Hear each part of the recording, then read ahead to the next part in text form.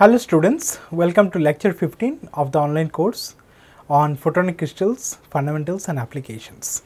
Today's lecture will be covering applications of 2D photonic crystals. Here is the lecture outline. We will look into the introduction, some light emitters, we will discuss about optical waveguides and optical filters.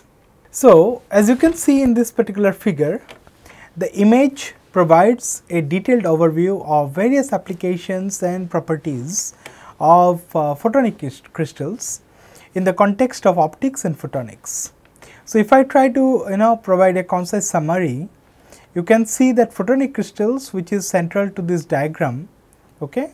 So, these all are different types of photonic crystals which are basically structures with periodic optical properties that manipulate uh, light at wavelengths comparable to the spacing within the crystal. So, the periodicity is basically of the order of the wavelength of the light that is interacting with the crystal. Now, if you look into various parts of this image, it shows beam deflection here which is basically the art of uh, redirecting light beams to achieve desired propagation paths you can also think of uh, negative index imaging that creates images using ma materials where the refractive index is less than 0. So, that allows for novel imaging techniques such as uh, perfect lens. You can think of uh, waveguides and fiber propagation which is basically directing light through specific paths efficiently which are crucial for you know optical communication. This is for long haul and this is for short haul you know, on the chip.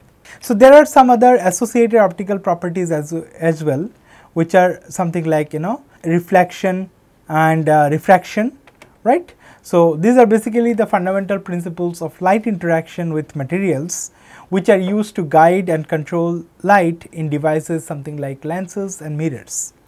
You can also see diffraction effect here which is basically nothing but bending of light around obstacles which are basically used in various optical devices to control light spread. You can also see resonance and holography which uses interference of light waves to create holograms and enhance light matter interaction through resonance. Here you can also look into another field which is nonlinear okay it tells you about the nonlinear optical effects which uh, accounts for the phenomena occurring at high light intensities which are typically used in switches and signal processing devices. There are some advanced devices as well which are like DFB laser diode or distributed feedback laser diode or DBR LD which is distributed Bragg reflector laser diode. Okay. So, these are basically sources of coherent light essential in systems requiring stable wavelength emission something like you know optical sensors and optical communication system. You can also think of resonance filter these are the devices that allow specific frequencies of light to pass through while blocking others okay and these are important for applications such as in communication and spectroscopy. So, overall this diagram effectively captures the extensive and expansive role of photonic crystals in modern optical technologies by highlighting their importance in developing advanced optical uh, systems and devices. So, we shall discuss some of these applications in this particular lecture and we will see how they are useful to us. So, when we are talking about photonic crystal, the first thing that should come to our mind that these are the crystal that allows us you know engineering photonic band gap. So, here you can see the photonic band diagram which indicates that there are three different frequency ranges right for light that can be utilized for real application. So, this is one range, this is another and this is the third one. So, you can start from the lowest frequency. So, this is the frequency axis and this is your you know k vector. So, you can start with the lowest frequency range which is below the first zone folding of the photonic band okay and the gradient of the uh, lowest straight photonic band is determined by the effective index n of the photonic crystal okay and it is different for different polarization as you can see here. So, classically this characteristics is called you know form divergence so, because there are two different refractive index for two different polarization means in two different direction there are two different uh, effective index. Okay. Since the photonic band calculation precisely predicts the effective index of each polarization, the index is artificially controlled by the photonic crystal structure. So, you can actually engineer this by refringence by designing the photonic band structure or photonic crystal structure.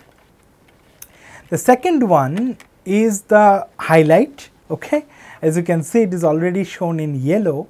So, the second one is basically showing you the photonic band gap which means it is an omnidirectional stop band. So, any frequency that lies within this particular yellow band will be blocked from entering that photonic crystal right. So, it is one of the most unique properties of photonic crystals and actually it was the main topic at the early stage of photonic crystal research. The photonic band gap can be used as a reflector for light that is to enter the photonic crystal from arbitrary directions. So, it is applied to reflection type of devices something like you know lasers and waveguides. And the third one as you can see here the third one is the higher frequency range which is above the photonic band gap. So, here complex photonic bands exist and as you understand the slope of a photonic band is basically proportional to the group velocity which is Vg of light right. So, if you see that the horizontal band at the band edge okay, means typically you are getting 0 group velocity right and that will give you localization of light energy.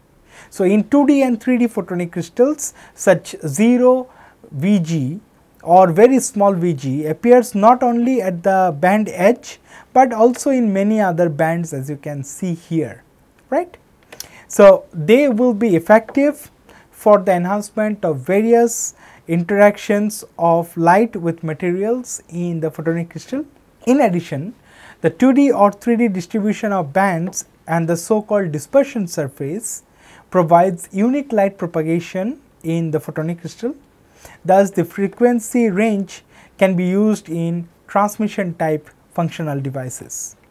So, the most devices that are presently studied use 2D photonic crystals because they are relatively easy to fabricate okay, and it is compatible with uh, LSI planar technology. So, now let us look into a few interesting light emitters based on photonic crystals.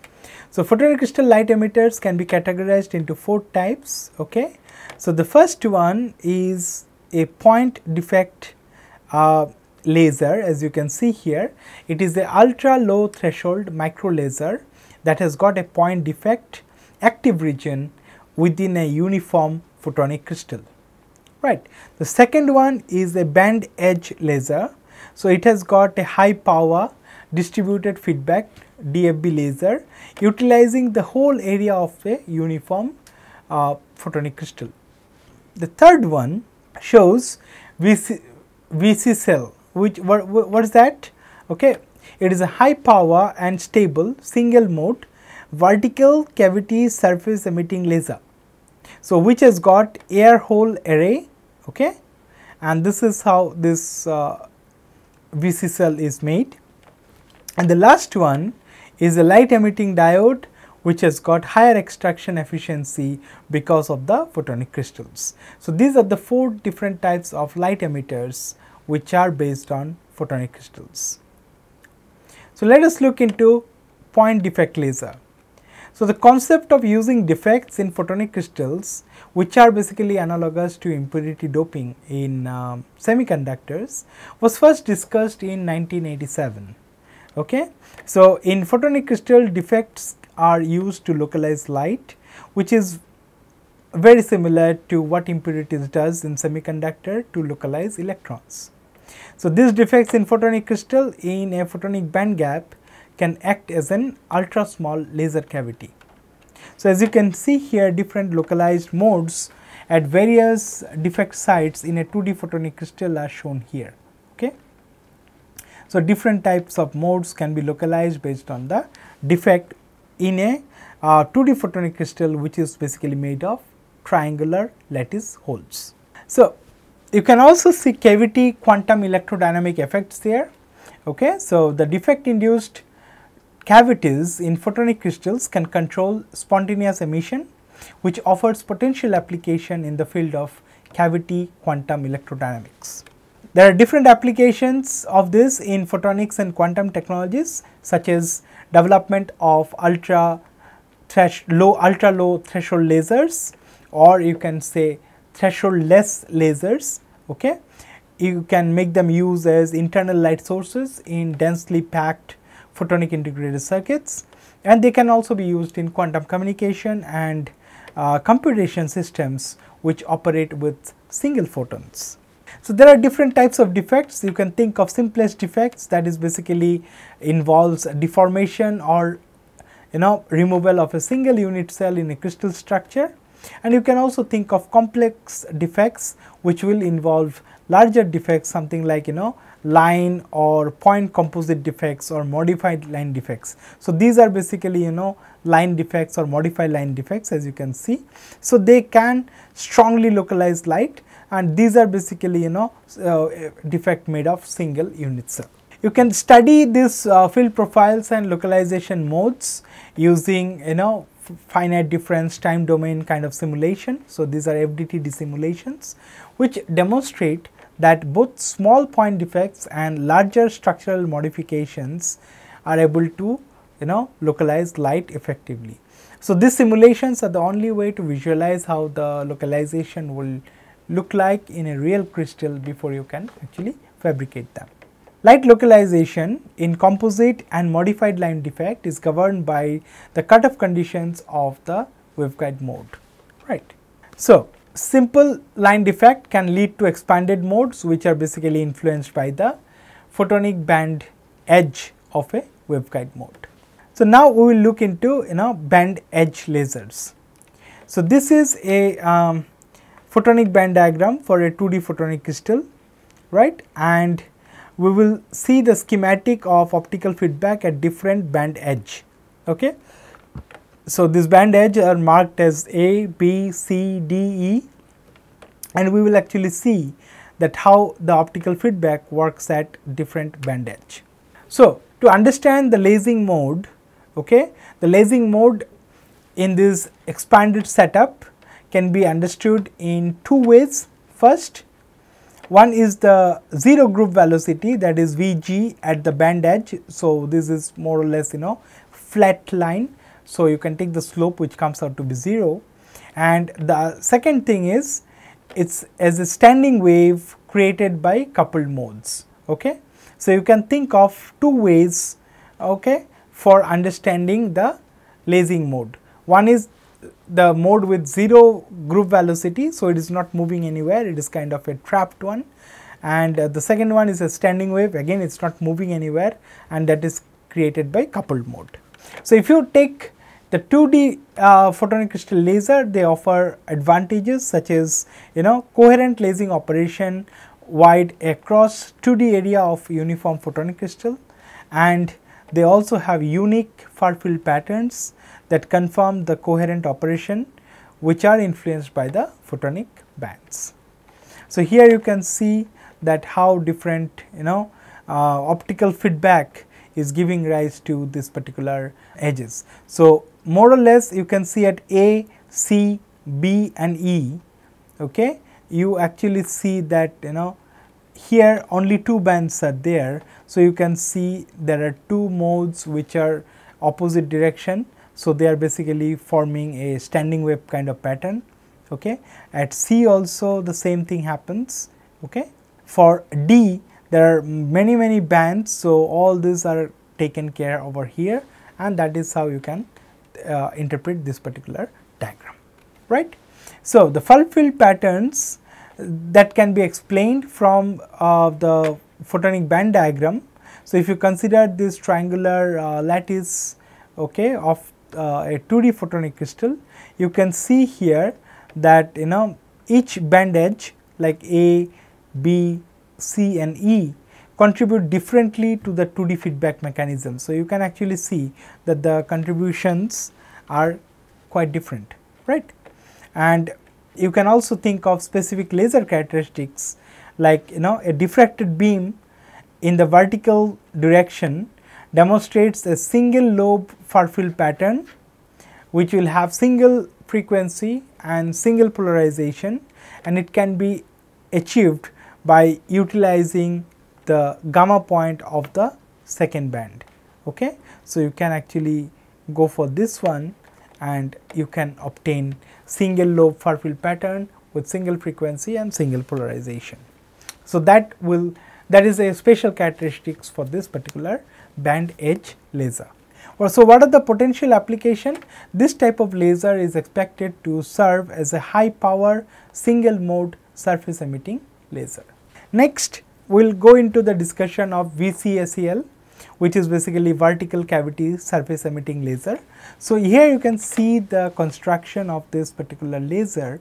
So, it is a stack of multi-layer distributed Bragg reflectors and then you have uh, a photonic crystal cladding and from here you will get the light output. So, this VCSEL is a type of microcavity laser that utilizes optical feedback from a 1D photonic crystal that is this distributed Bragg reflector which is a semiconductor multilayer stack. This kind of laser is commercially available okay, and commonly it is used as a cost effective light source in local area networks or LAN.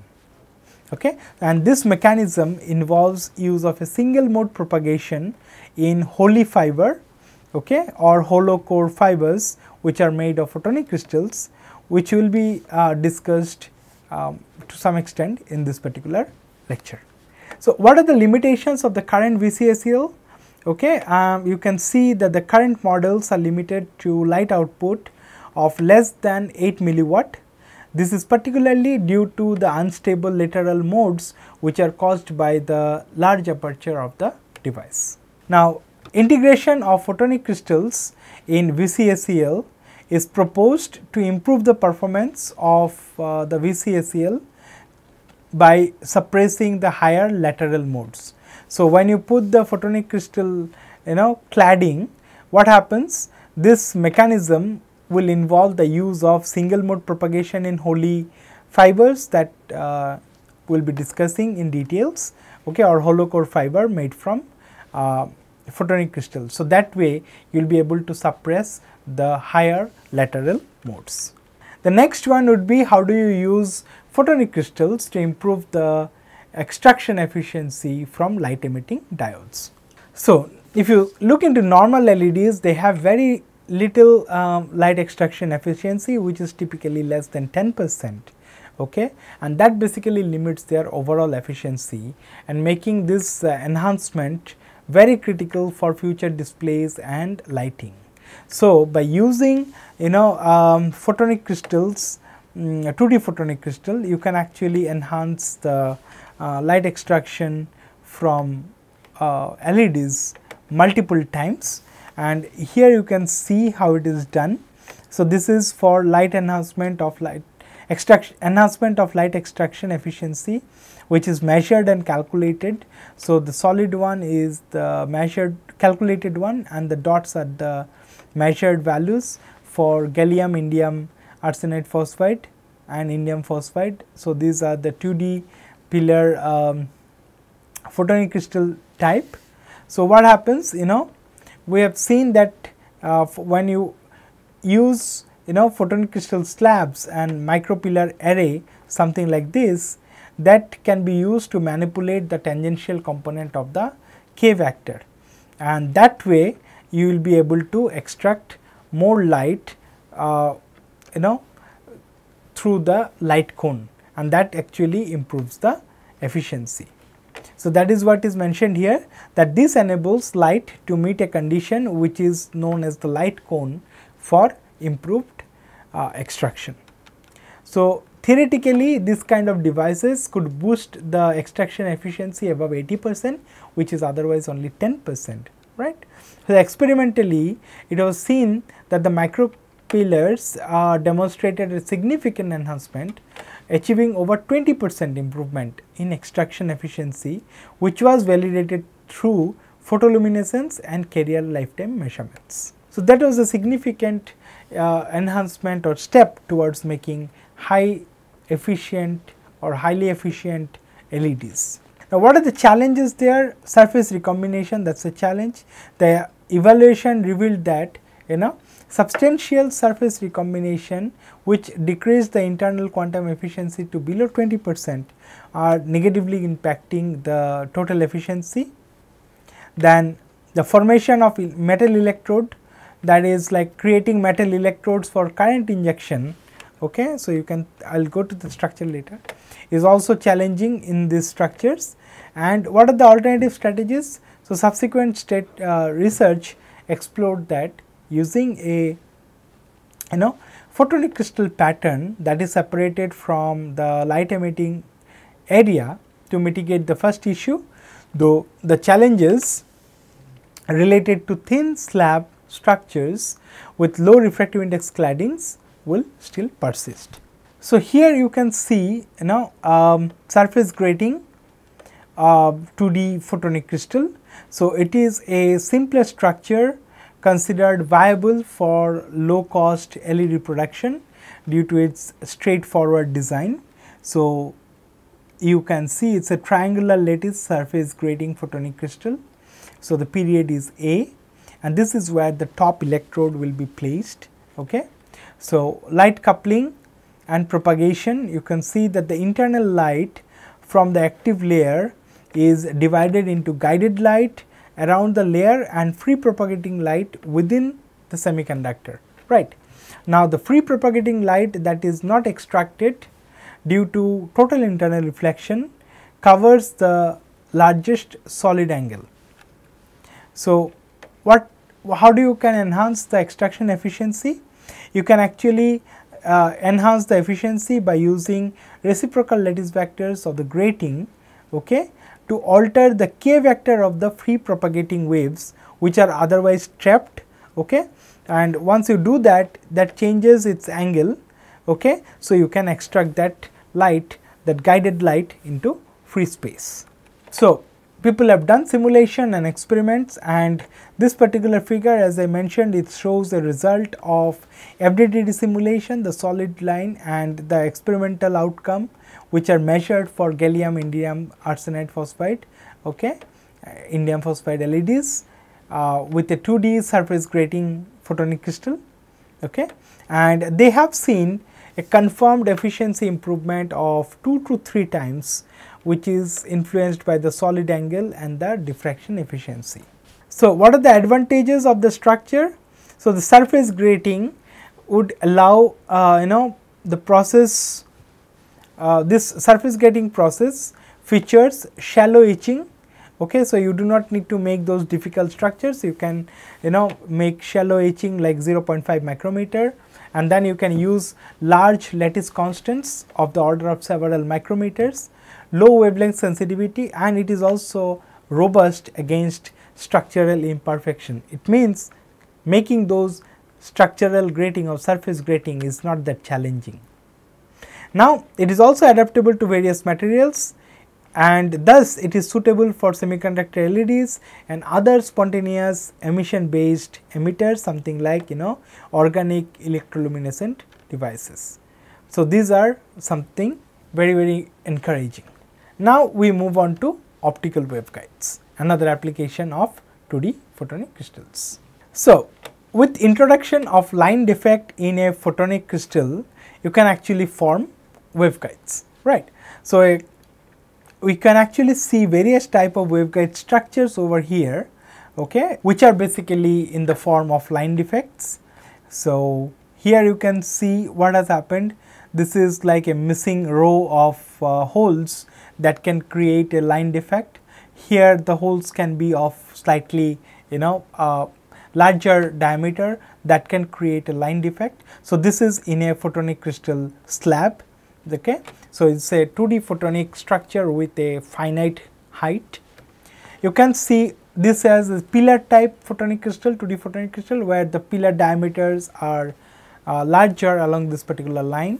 You can think of you know 3D structure, wood pile structure and also autocloning structure. There also you can introduce line defects, right.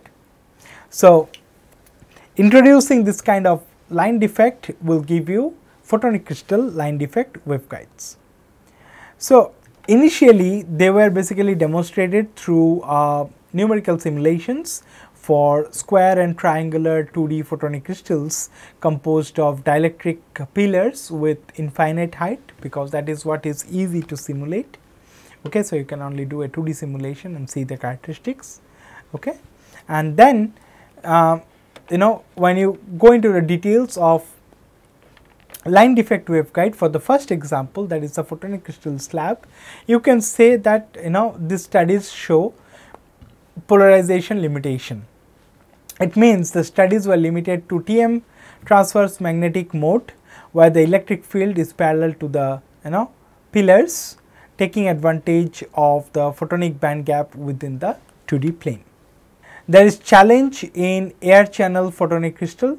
So, when the when the channel is air confining light within the 2D plane becomes difficult that leads to the use of different structural application or approach in case of practical usage. Now, use of photonic crystal with holes okay.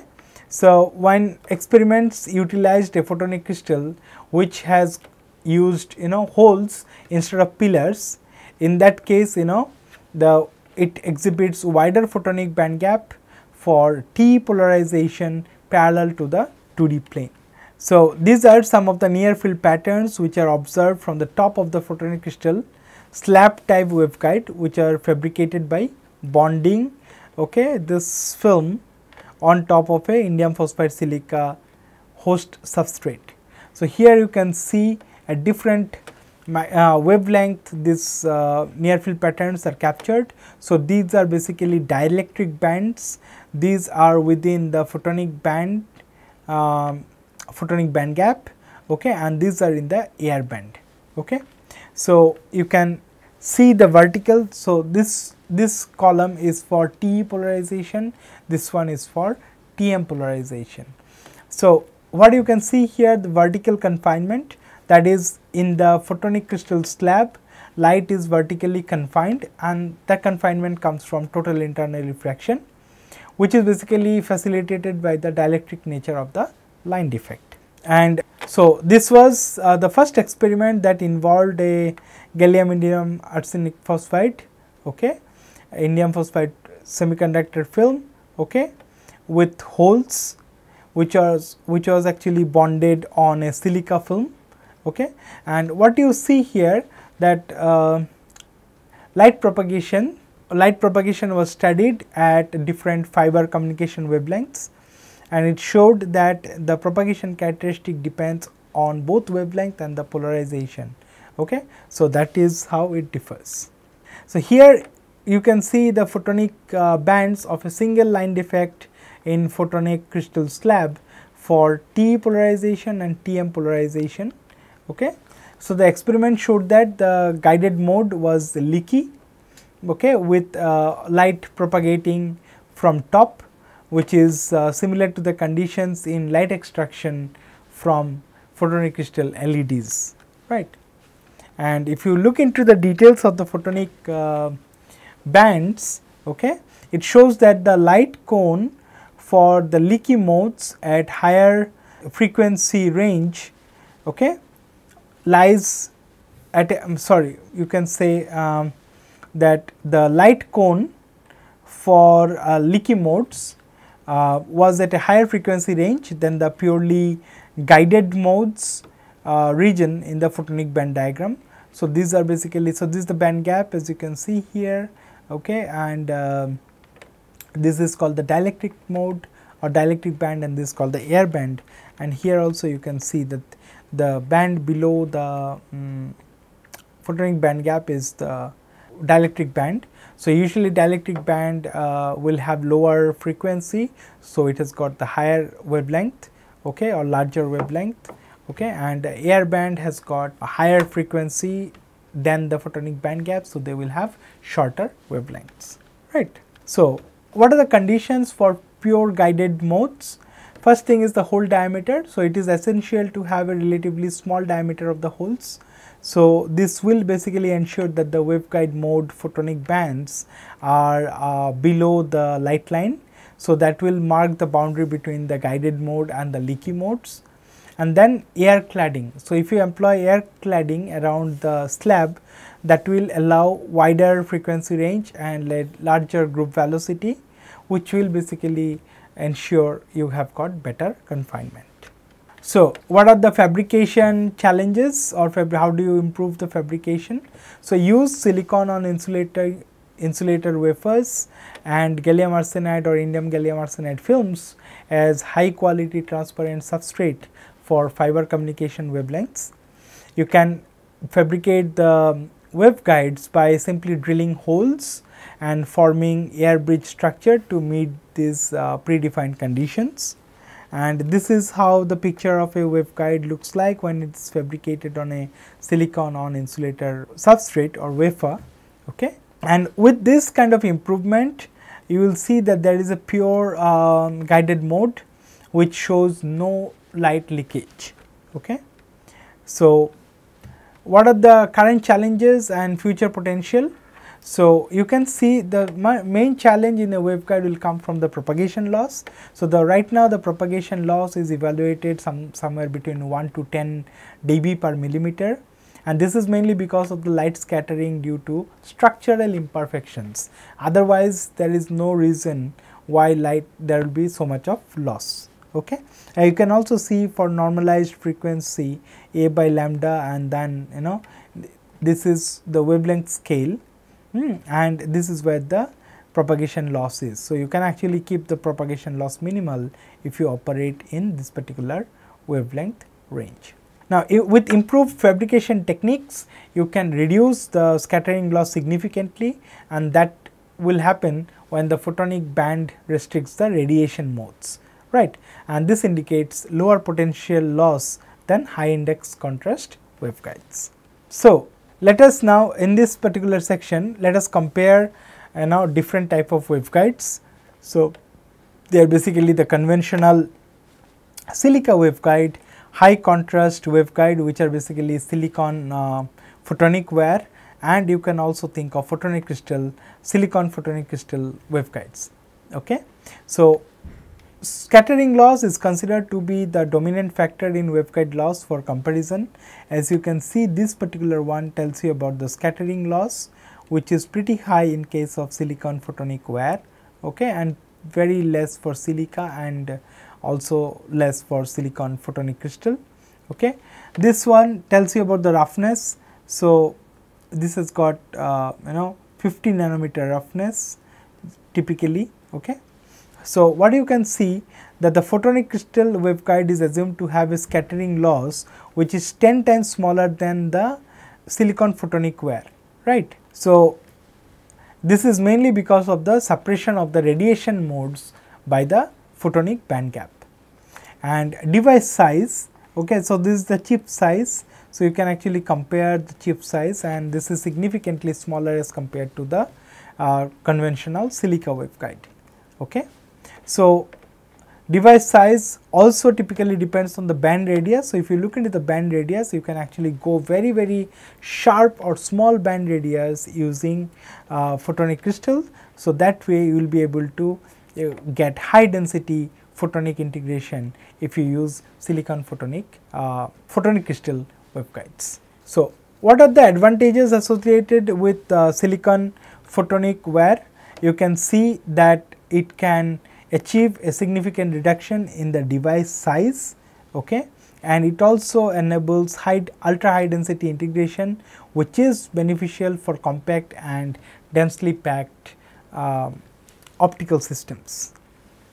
when you look into the photonic crystal uh, waveguides, they could allow for large scale integration if the process roughness can be reduced to less than you know 10 nanometer and if uh, scattering loss can be reduced to approximately 1 dB per centimeter and this will improve both the performance and the integration capacity.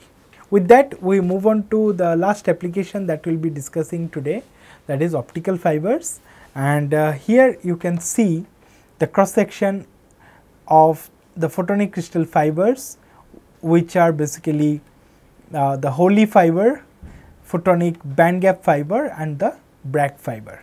So, these are the basically three types of photonic crystal fibers which are popularly used. Their common manufacturing process is basically you know these fibers are made by drilling, these fibers are made by drawing a silica glass preform with air holes uh, which forms periodic cross section and uniform optical axis structures. So, if you pay attention to these particular cross sections you will see this holey or microstructured fiber basically has a dielectric defect at the center and this is otherwise a you know triangular array of air holes, but at the center there is a defect where the hole is missing you have a solid core okay and that basically serves as the fiber core. If you look into the second one which is photonic bandgap fiber, it is characterized by an air defect at the center of the photonic crystal. So, you see a large air hole at the center and this basically acts as a fiber core. For the last one the Bragg fiber which is also called axially symmetric multilayer fiber. So, this is basically slightly different from the first two types. This fiber features axially symmetric multilayers and um, it has been also partial, partially commercialized. Okay. So, let us first look into the Holey fiber. So, this is the cross sectional structure which you have already seen. So, what is the light propagation principle in case of Holey structure or microstructured fiber? So, light propagation is basically governed by total internal reflection here not by photonic band gap.